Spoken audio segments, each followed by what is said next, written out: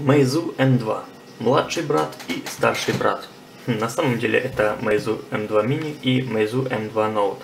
M2 Note это мой телефон, который я уже использую где-то 5 или 6 месяцев. А это M2 Mini, который я недавно получил на почте, немного протестировал и хочу о нем немножко рассказать. Отложим пока нашего старичка в сторону и посмотрим на M2 Mini. Начнем с дизайна. Телефон практически точная копия M2 Note, но с небольшими изменениями.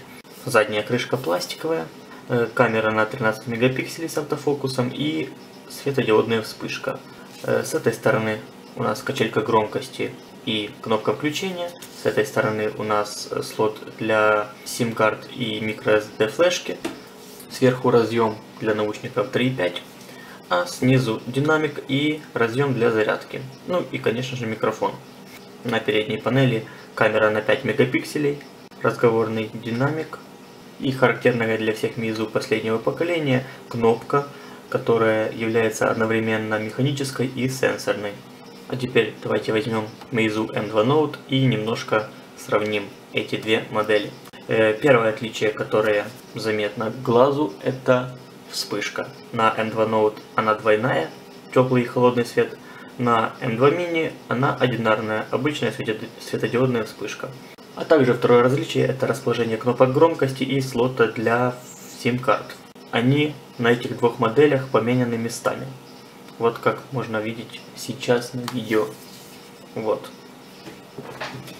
На M2 Mini кнопки справа, на M2 Note кнопки слева а в остальном телефоны идентичны. M2 Mini имеет 5-дюймовый экран IPS с разрешением 1280 на 720 пикселей, то есть HD разрешение. Установлено стекло Gorilla Glass 3.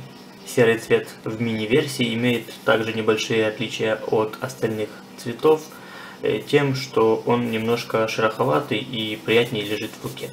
В телефон можно вставить или две сим-карты, или одну сим-карту и microSD флешку.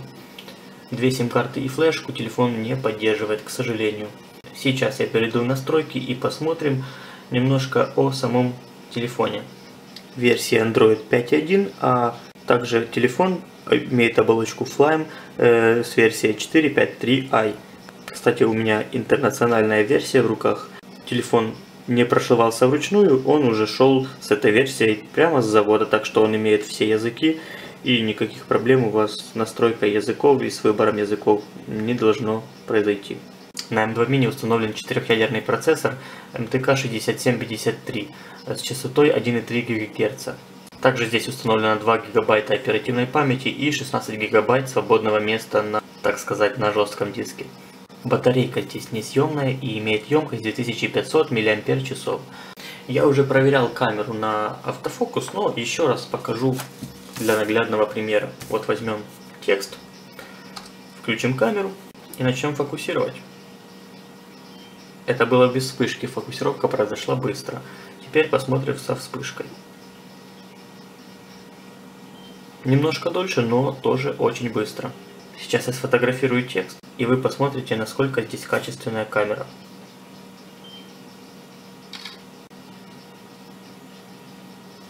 Вот какое здесь качество камеры. Как по мне, так очень даже классное. Телефон расценивается как средний класс, это не флагман, но камера у него на высоте. За что я люблю Meizu, за то, что они никогда не выпускают ширпотреб. Оболочка Flyme довольно шустрая, никаких фрезов, никаких подтормаживаний. Ну, а кому не нравится эта стандартная, так сказать, фирменная оболочка Meizu, может поставить с Market любой лаунчер, какой ему нравится, и наслаждаться обычной версией Android и не чувствовать никакого дискомфорта. Телефон поддерживает обновление по воздуху. Для этого вот здесь есть специальная программа, называется обновление. При переходе в эту программу идет проверка системы, показывается актуальная версия и здесь, если будет какое-то доступное обновление, будет показано, что вы можете обновить свой, свой телефон и будет кнопка «Обновить». А сейчас проверим телефон на Antutu Benchmark.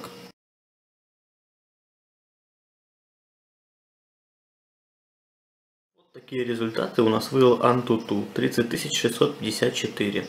Чтобы посмотреть на яркость и насыщенность экрана для наглядности, сейчас я вам покажу несколько фотографий из интернета.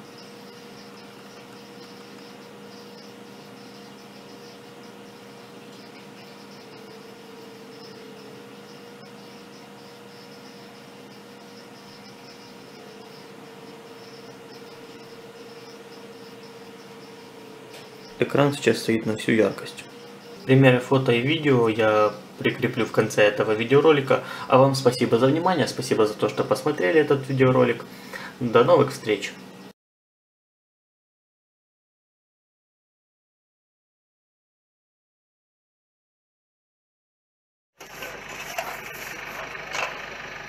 Ну, можешь им тоже тогда созваниваться.